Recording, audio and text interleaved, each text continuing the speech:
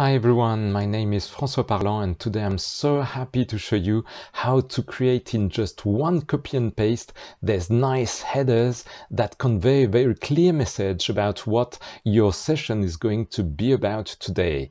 Let's start now.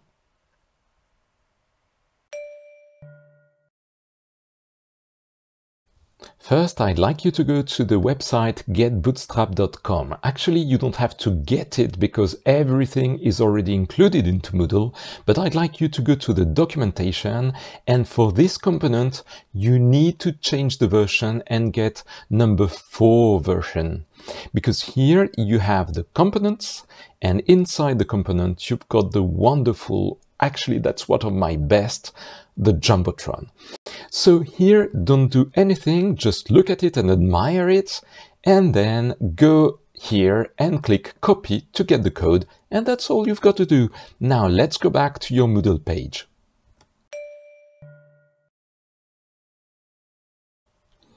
In your Moodle page, just click Add an activity or resource, choose Label, and then you've got to click on the arrow to have the additional icons and click on the last one called HTML.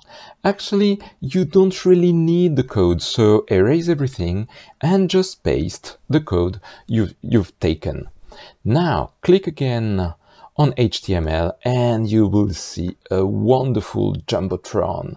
Of course, you can change everything you want. For example, if you don't want that title, just type session one and you can change the subtitle, everything, and of course, I've already shown you how to change and add a link to a button, and I've showed you how to change the background color using primary warning colors in another video about colors. So everything is done. You can go back and just click Save and Return to course.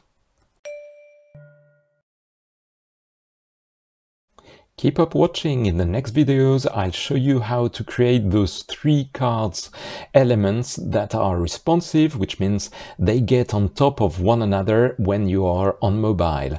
And there is more, a few things about the fonts that I'd like to, to show you. See you again soon. Bye bye.